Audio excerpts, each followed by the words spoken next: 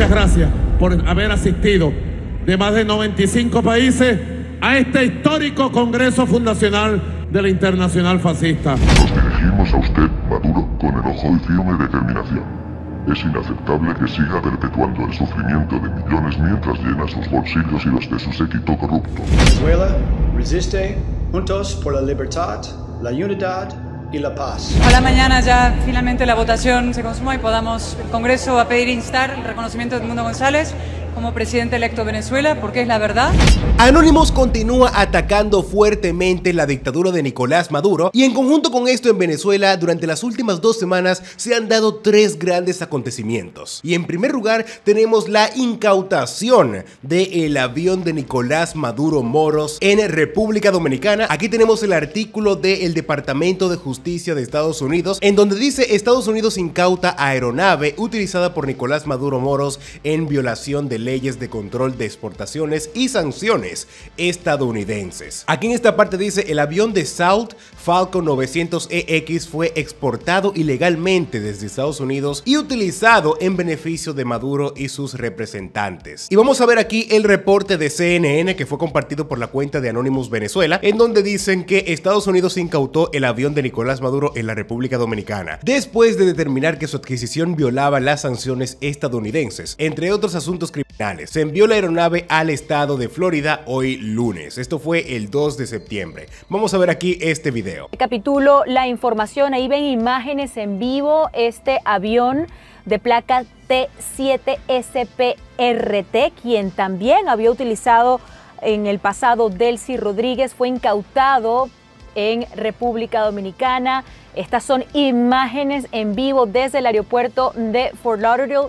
Estados Unidos incautó el avión de Nicolás Maduro después de determinar que su adquisición violaba las sanciones estadounidenses, entre otros asuntos criminales, y envió la aeronave al estado de Florida el lunes según dos funcionarios estadounidenses. También otro gran acontecimiento es que el régimen realizó una orden de captura para Edmundo González Urrutia y aquí tenemos esta publicación realizada el mismo 2 de septiembre por Alerta Mundial. Última hora, Tribunal de la Dictadura de Maduro emite oficialmente orden de captura y apresión contra Edmundo González y aquí tenemos la orden. Y posterior a esto, como leen aquí, varios países de América Latina, incluyendo Argentina, Costa Rica, Guatemala, Guatemala, Paraguay, Perú, República Dominicana y Uruguay han emitido un comunicado conjunto rechazando de manera inequívoca la orden de arresto contra Edmundo González, presidente electo de Venezuela. Y bueno, luego de esta orden de captura, Edmundo González decidió salir de Venezuela y dirigirse a España. Y aquí tenemos el comunicado que este realizó vía la plataforma de X el 9 de septiembre explicando todas las razones. Y bueno, ya el día de ayer este fue recibido por el presidente del gobierno de España, Pedro Sánchez,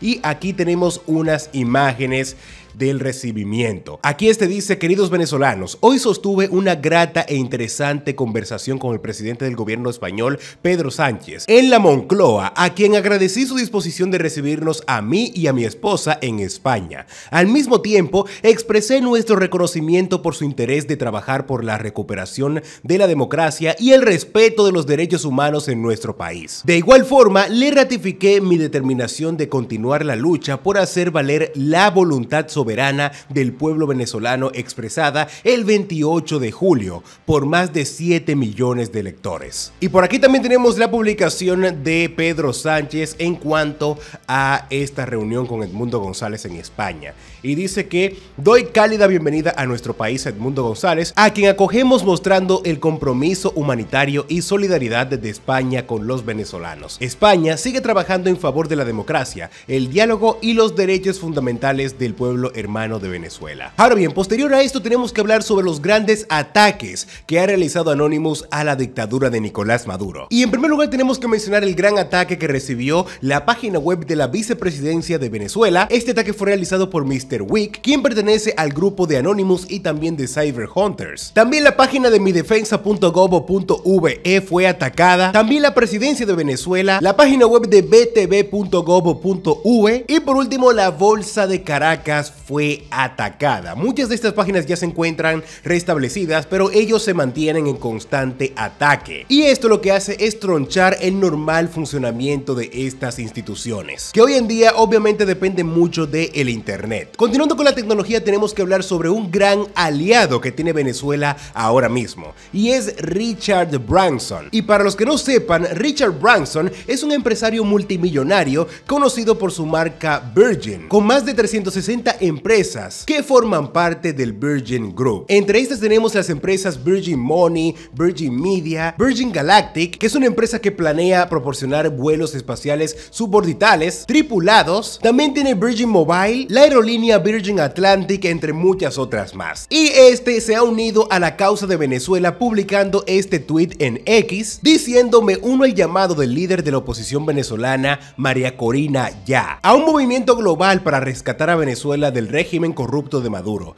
Esta debería ser una causa mundial que todos defendamos. Y que este alce su voz le suma muchísimo a esta causa y ya ha tenido más de 562 mil reproducciones, o sea, 562 mil personas lo han visto. Ahora bien, tenemos que hablar ya sobre esta publicación en X que se ha hecho muy viral en esta red social y es que Tarek William Saab queda completamente mudo durante una entrevista con Fernando del Rincón, quien es un periodista y presentador de televisión mexicano. Y miren aquí este extracto de la entrevista. Vamos a ver. El Mundo González publica esa página web en donde aparecen actas que dice usted son apócrifas.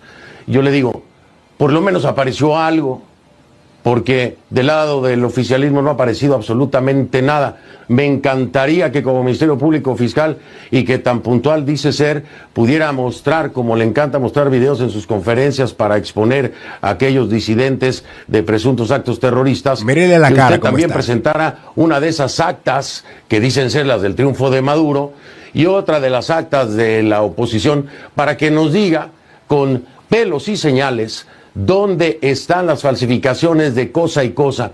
Lo cierto es que las actas del oficialismo del Completamente CNE nervioso. y lo que se llevó al Tribunal Supremo de Justicia son fantasmas. Hasta el día de hoy no han aparecido.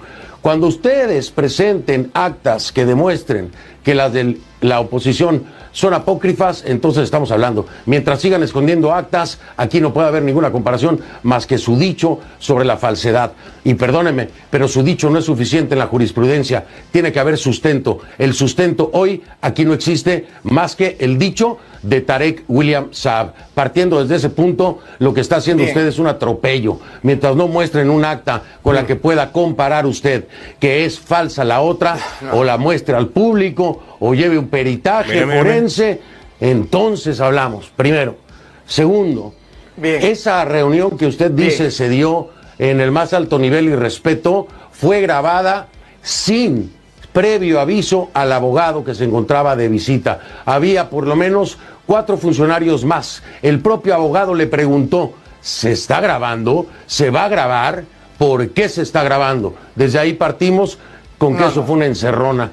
Y tercero, el hecho de que se haya ido, el hecho de que se haya ido del país el embajador del mundo González Urrutia no tiene que ver por una decisión propia. Usted sabe, igual que yo, que hubo una reunión donde estuvieron Jorge Rodríguez y Delcy Rodríguez. Y ellos fueron los que condicionaron, por no decir amenazaron con repercusiones, el hecho de que el mundo se quedara en el país.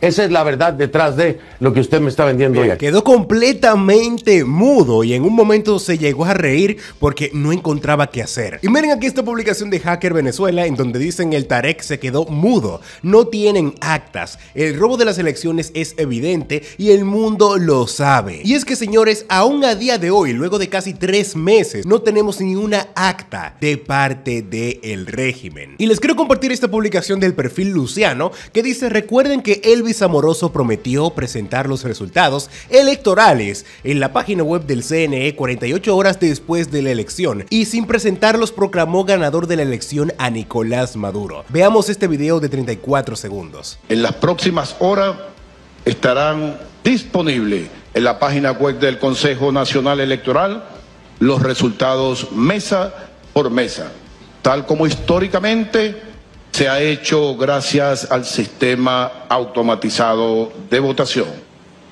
Igualmente se entregará a las organizaciones con fines políticos los resultados en un CD conforme a la ley. Nunca. Si tenían las actas ¿Por qué no las presentaron? Ahora bien, ya para finalizar con este resumen de noticias tenemos que hablar sobre Eric Prince y el movimiento Ya Casi Venezuela, que ha causado muchísimo revuelo y expectativa de lo que va a suceder cuando ya termine la cuenta regresiva de 3 días, 9 horas y 32 minutos al momento en que estoy grabando este video. Por si no lo sabían, Eric Prince es un empresario y ex militar estadounidense, más conocido por ser fundador de la empresa militar privada Blackwater actualmente conocida como Academy. Y sobre él vamos a hablar ya a más detalle en mi nuevo canal Johan News, que les invito a que se vayan suscribiendo porque vamos a comenzar a lanzar videos diariamente a partir de este próximo domingo. Y como les mencioné, aquí tenemos la página ya casi venezuela.com y esta se dio a conocer principalmente por la publicación que realizó Eric Prince, ya que ha alcanzado 3,6 millones de reproducciones. Vamos a ver el video que compartió. Aquí está lo que él puso en su repost que dice estén atentos todos los venezolanos amantes de la libertad, pronto habrá más. Veamos el video. Un movimiento imparable ha comenzado y la historia de Venezuela está a punto de cambiar para siempre. Esta vez no hay marcha atrás. Hoy Miraflores está en pánico. Saben que lo inevitable se acerca. No te dejes engañar por sus alardes y risas nerviosas. El temor crece porque nuestros aliados más poderosos del mundo se unieron a este movimiento y han decidido que esta vez al régimen se le acabó el juego. Ya casi Venezuela será la fuerza que hará cumplir la voluntad del pueblo. Será el motor de un cambio que no podrá ser detenido. Falta poco Venezuela. En unos días serás testigo y protagonista del renacer de una nación.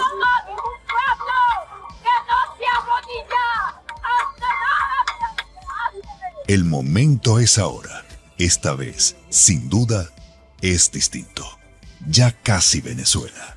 Falta muy poco. Y en conjunto con esta publicación, Eric Prince lanzó este video que tiene 1,9 millones de reproducciones. Venezuela resiste Juntos por la libertad, la unidad y la paz. My friends, be well today with the protests. I wish you peace and safety. Your friends from the North, though we're not with you today, we're coming soon.